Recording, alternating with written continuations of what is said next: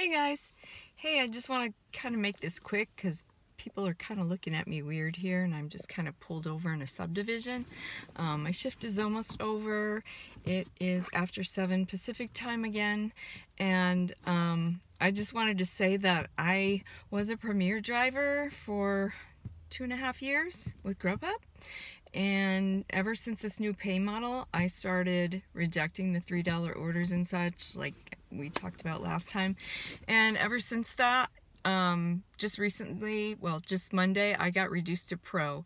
So, um, but I'm not going to worry about it, guys. I really don't care because like I said, it takes, you know, you need to make it, we need to take a stand rather in order for change to happen, in order for them to, um, give us more money to pick up these orders. So I'm going to keep on doing what I'm doing at pro level. The only reason why I wanted to have the premier status was because I do this part-time and I wanted to be able to choose my blocks, you know, just to make sure that I had a block that I could rely on, a schedule.